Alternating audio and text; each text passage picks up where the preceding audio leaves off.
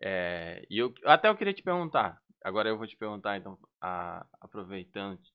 Tu começou numa época que eu muito totalmente diferente da minha, assim. Que tu, por exemplo, Totalmente. começando com o Diogo Portugal, fui conhecer o Diogo Portugal, tipo, ano passado. Então, tipo, é, é, depois de 10 Era anos. muito que tu fácil o a acesso a fazer- esses É, caras. Isso, porque pra eles também era um negócio novo, né? Sim. Assim, de Duas forma. coisas eram novas. O stand-up, por mais que eles já estivessem mais. Assim, eles não eram pequenos, eles, eles eram famosos. Sim. Mas a mídia social ainda era nova. Então ela deu Uhum. uma, uma proximidade que esses caras ainda não tinham. Tipo, é diferente hoje, que a gente falou, são 10 anos de, Aham. de mídias sociais. Hoje eu falar com um cara desse e mandar uma mensagem, ele não vai nem ver. É Sim. difícil ele conseguir ter o acesso. Aham. Naquela época, ele, por mais que ele era famoso, ele entrou na mídia e a mídia ainda era pequena. Então qualquer pessoa conseguia ter Uhum. essa proximidade. Eu acho que isso também é um outro fator que. Pouca gente tinha acesso e acabava, né? Exato. E quem tinha, tinha mais chance de falar com essa pessoa, de trocar ideia com ela. Mas aí tu fez, tu fez o Open, tipo, tu falou direto com, com, a, com a pessoa, foi com Não. o dono do bar? Cara, meu, é louco essa história. Pode dar um episódio só, dessa, É? só disso, cara. Ah, então... o Hilário participou do meu primeiro É? stand-up. Cara, eu sabe por que, que eu fiz? Tinha que ter 10 pessoas na plateia. Ah, né? então. É, Não, tinha uma galera, tinha uma galera. Tinha uma galera, era, era uma noite de open mic. Ah, era uma noite de Open. Era uma noite criaram de open mic, eu Open. conheci o cara do bar. Aham. Aí. Só que assim, a galera fazia, teve uma galera que foi lá fazer, mas assim, ninguém tinha conhecimento mesmo do que era o stand-up. Aham. Os que fiz, Cara, faziam open mic. Era, a galera ainda era muito, pô, eu quero tentar. E eu, A gente assim, tá ó, falando de 2008.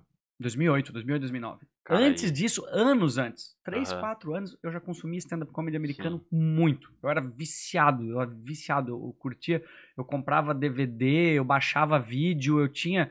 Cara, eu, eu lembro que eu tinha um download que tinha 28 episódios do Comedy Central de 2001 pra frente. Uhum.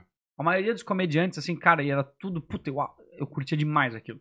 E daí ali, eu já escrevia um pouco, e quando eu tinha quebrado a perna, eu quebrei o tornozelo, eu fiquei em casa, Uhum. aí eu pensei, putz, eu, eu comecei a escrever texto focado no, no na minha perna, como eu tinha botado Uma os pinos. E daí eu comecei a escrever, eu Aham. pensei, cara, vou fazer.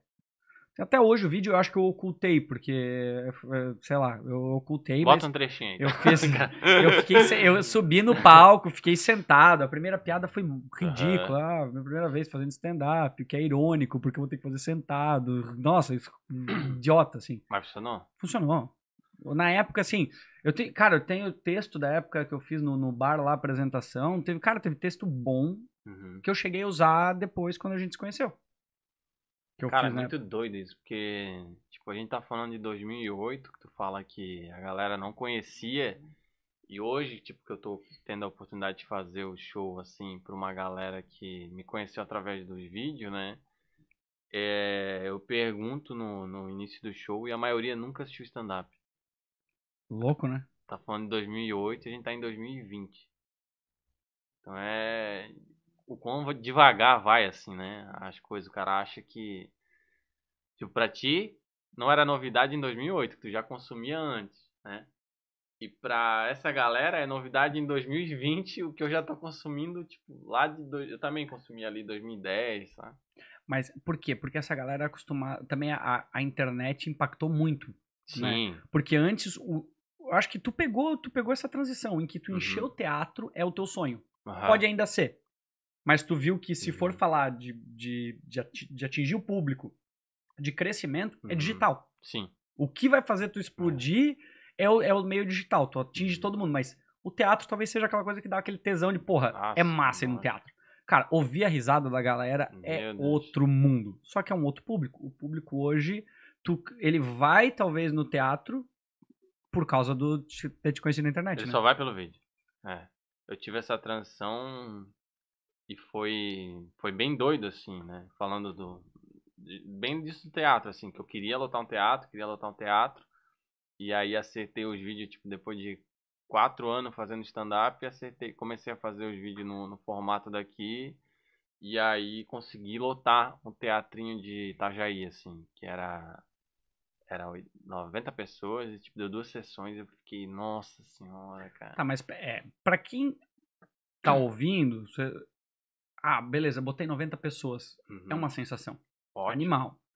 Só que eles não têm o retrospecto de tudo que tu passou antes de chegar Sim. a botar 90 pessoas. Nossa, eu então- fiz, a gente fez quantos shows a gente fez que não deu ninguém, a gente teve que voltar e os caras nem nos pagavam. Uhum. Por- Não, é, isso dá um assim, contraste. Na é nossa coisa- cabeça é um contraste totalmente diferente, né? mas assim, eu não me arrependo assim, foi uma experiência animal. Foi, foi legal de ver, assim, de eu já ter visto como era fazer o stand-up, mas não de uma forma tão séria. Eu fazia no, em um lugar, eu cheguei a fazer em balneário. Stand-up com- sempre foi hobby pra ti, né? Sim, e É. por isso que, que não virou tanto.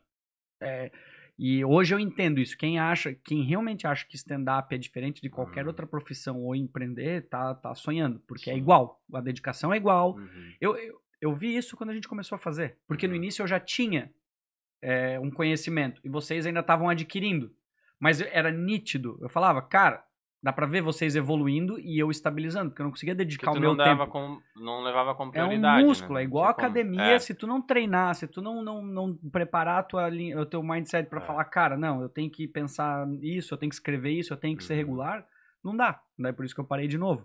Mas o que é louco é isso, ver.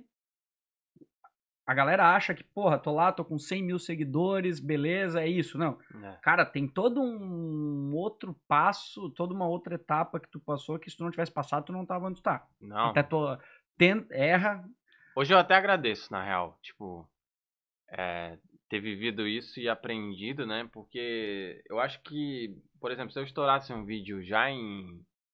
há cinco anos atrás, quando eu comecei, eu não ia, não ia ter material pra suprir essa galera.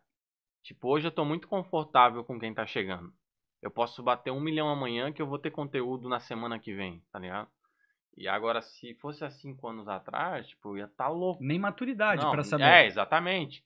É, isso, e sem falar nisso, né? Que a rede social, tipo, te pega. Tu tem que aprender muita coisa.